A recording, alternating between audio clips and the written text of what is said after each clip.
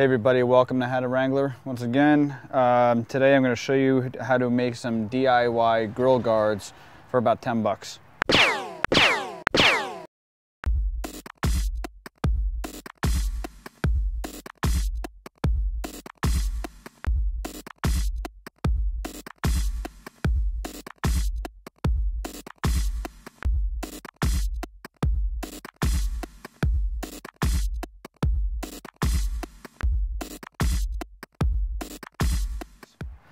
Um, all right, first step after you open the hood, you've got these six little plastic screws that aren't really screws at all. Actually, you just need a Phillips head screwdriver to lift up the middle part, and then the whole thing just pops out like that.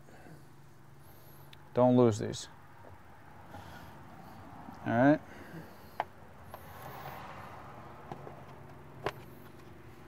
Now if it comes all the way out like this, it's not a problem. Just kind of put it back in because you don't want to lose it from being in there. You can kind of pop the bottom piece out once it's unlocked with the screwdriver again.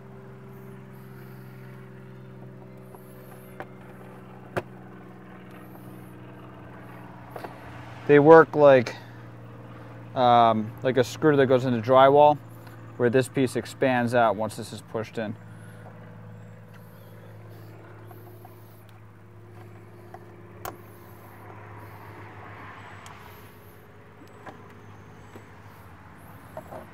It's four.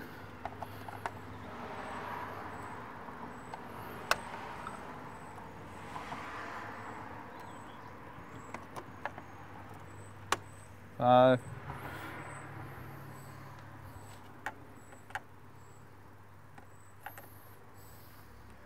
The ones on the ends are the easiest. Six. All right. Now, you'll see it's already pretty loose here.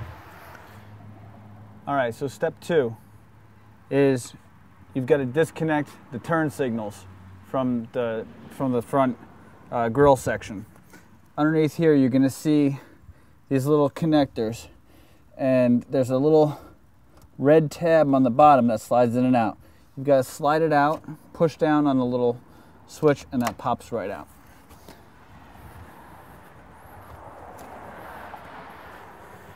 The other one in the same spot on the other side. Slide that out, push this down, and comes right out. Now once you've gotten both lights disconnected. The next step is to, this can be a little scary, but the whole front grill pops off. So just tilt it back. You might feel like you're gonna break it, it feels a little flimsy, but if you grab it from down here on the top and just kind of twist it, it'll pop right off like that and we move on to the next step. All right, so now you've got your grill inside. Put it on a towel um, and to protect it. Now you might have noticed when I was taking this apart that I actually had already had a, a grill cover in here.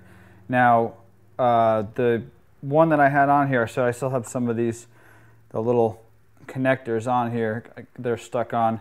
Half of them fell off. I bought this kit online for about 50 bucks had some of these screens um, that were too small. So we're going to fix that problem and also glue these down the right way. But the first step is to get this whole area completely clean. So I'm going to do that and I'll be right back. All right, now that you've got everything cleaned up here, uh, the next step is to take these wire tie down mounts. Um, I bought just a pack of 10 at Radio Shack because I didn't need that many because I already had the ones from the old kit. Uh, but I have a link to uh, Amazon. You can buy a whole bunch of these for pretty cheap. Uh, it's on my website. You can check that out. So these are sticky back. Um, but the problem is that the sticky back is not that good, obviously, as you can tell by all the ones that fell off from the original kit. But what you're going to want to do is stick them on two per, per space in between. It's already falling off. Two per space in between each grill. And then one along the top of each opening. Now once we put these all down, the next step is going to be to crazy glue them in place. So I'm going to lay these all out and I'll come back when I start crazy gluing them. All right, now that we've got these all laid out, I'm going to take the crazy glue with the precision tip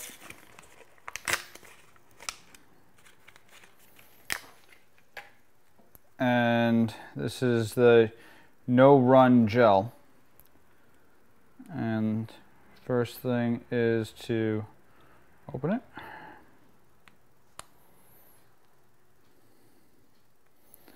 And you're going to want to make sure that each one of these is very secure. Now the ones, uh, if they're sticking down pretty good, uh, like some of these ones that stayed on there, uh, the thing that you can do is just put drops around the corners and that will hold it in place. Now, if you get ones and they, they end up really not sticking at all like these crappy ones that uh, I got at Radio Shack, I'm just going to put the crazy glue right on the back. And drop that down on there and then put some around the edges as well.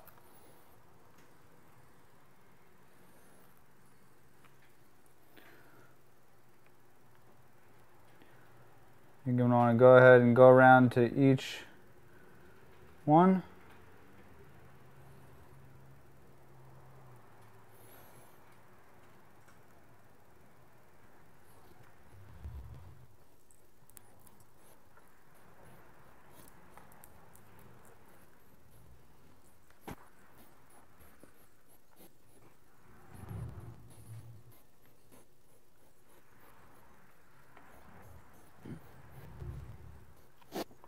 All right. Now while we let that crazy glue dry, we're going to take our gutter guard and we're going to cut this up into four inch strips. So I'm going to measure this out just to see exactly how long we want to go here and here and I'll be right back. Now here's a little tip for when you're cutting your gutter. Now each piece is going to be the same. If you've got a corner of a table like this, like I said, you're going to measure off 14 inches long. So you can just set up your tape measure and then take a piece of tape and mark 14 inches. So now that line right there is 14 inches. And then you're going to do four inches in Put another piece of tape.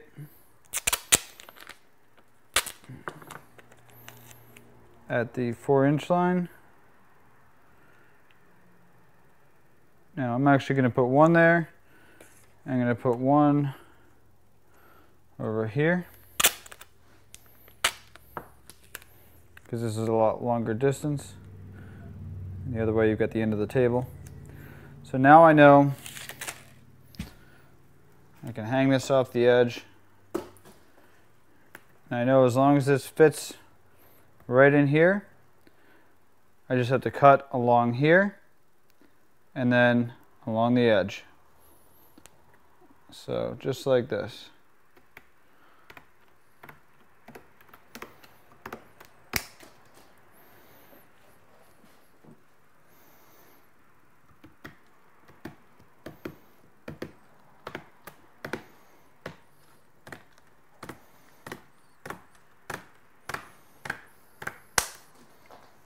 Go. Just make seven of those and you're good to go. We'll move on to the next step. All right, so the next step, after you've got all these cut out, and by the way, it only took me about five minutes using my little trick there to cut these all out, all seven of these.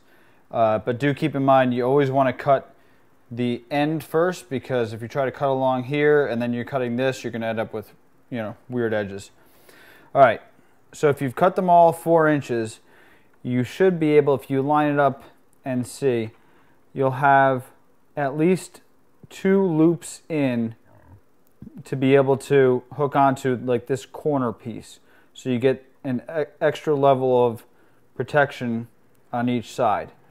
Because what you're going to be doing is you're going to be taking these the cable ties and you're going to be looping the cable ties through to hold each of these in place. So for the outside edge, as you can see, there's two deep. You're going to want to make sure the bottom is lined up so it's not clipping the edge here because it's going to be a little bit longer, but that's good. So you're going to want to go two in, loop it down through, and this is the most tedious part of the whole thing because once you get this through, it has to go through the middle of the little cable tie downs like that.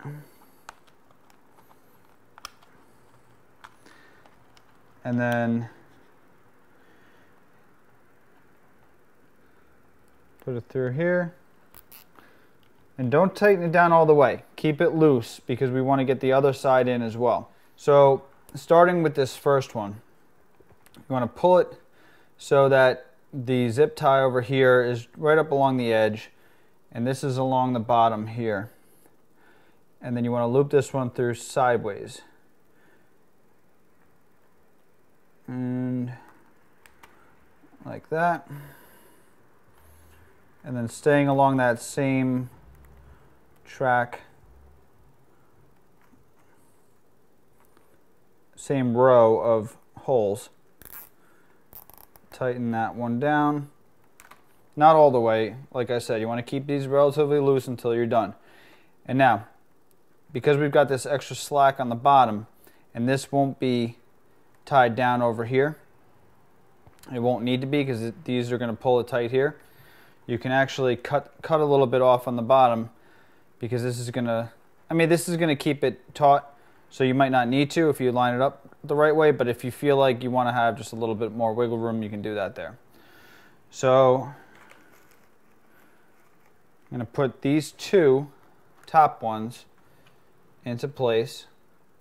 You're gonna wanna repeat this process all the way down. So make sure that the, you're gonna wanna make sure that the opening, the small opening and the ribbed side is facing up as you put these in. Otherwise, they won't lock down.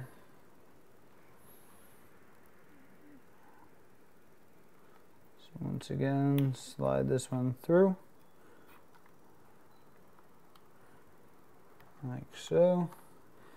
And then make sure you stay, go two over is safe. Slide that one through like that.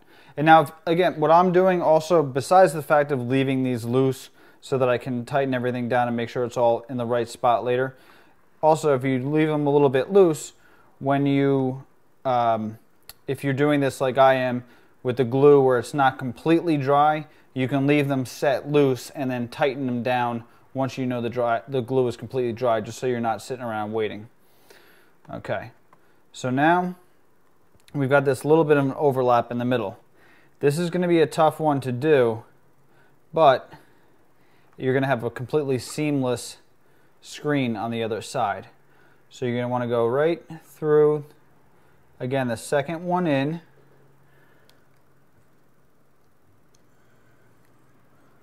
And try to bend it so it pops right through like that. And it should, the uh, angle of the this little divot should aim the, the tail end piece straight up for you. And then you've got that right there. Now you can see that's really looking really nice. One thing I didn't point out too, when you put these on, see they're rolling up this way? You want to put them that way because the other way they'll stick, be sticking in. This way it goes kind of with the little bit of a curve of the, of the grill. And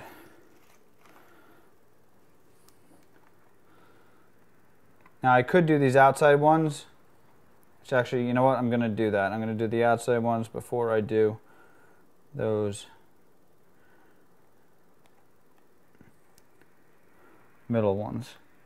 Just because it's it's better to, to do it on the, the, on the safe side because then you'll know that how much slack you have on the outside.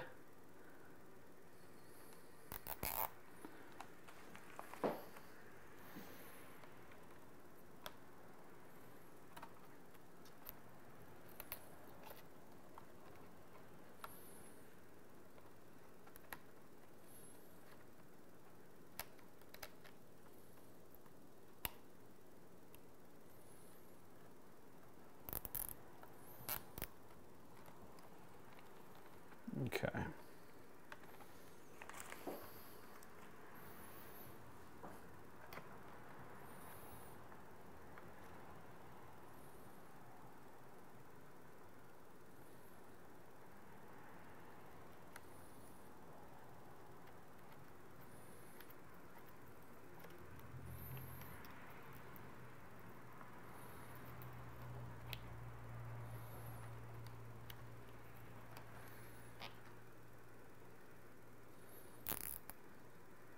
All right.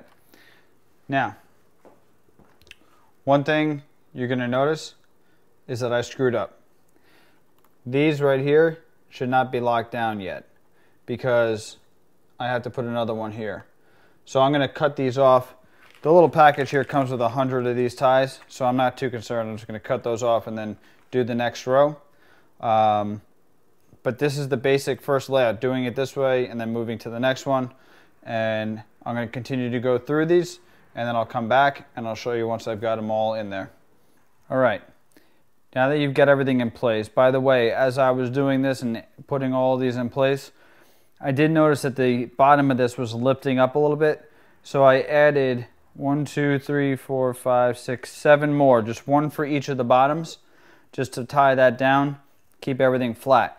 I haven't even tightened any of these and already they're pretty taut just because of the, the way you lay them down, putting two together and then two together, two together, two together.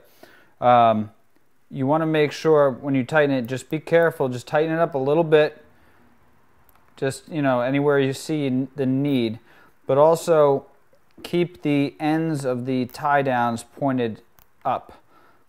That way they're not, let's see this one here is over to the right and you'll see that through the screen. I mean, you won't really see it through the screen, but if you can swing it over and then just tighten it down like that, you'll be much better off. The ones that are on the outside don't matter as much because they're, they can stick off to the side and no one will see that. So just tighten them all down and we're ready for the last step. and that's going outside. Just make sure everything is the way you want it because you don't want to go through the process of taking the the grill off again once this is done.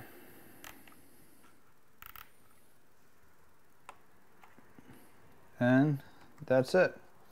All right, so let's bring our grill outside. As you can see, Looks pretty awesome. All right, now for the final part of the build is popping it back into place. So the first thing you're gonna wanna do is line up the bottom and you can see there's there's slits in the bottom and they line up with this and there's also this middle piece here so you can see that these three in the middle that's your lineup spot so once you get that in there, it pops in. Make sure you pop it in all the way across. And you're good. And then you're going to take these little guys again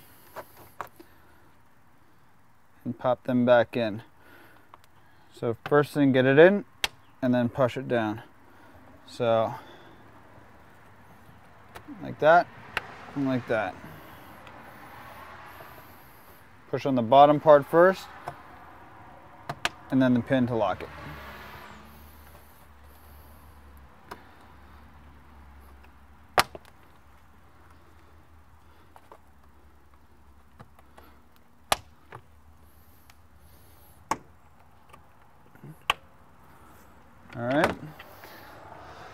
Now it looks great, but you don't want to forget about your turn signals.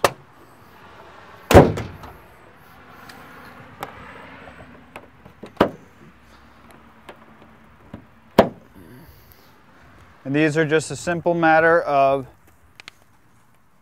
taking this plug, make sure the, the red part's in the bottom, pop it back in, and then slide the little red piece, the locking piece in the bottom in. So then that's locked in. Come around the other side. And this one actually the red piece is on the top. Lock that in, slide that in. And just make sure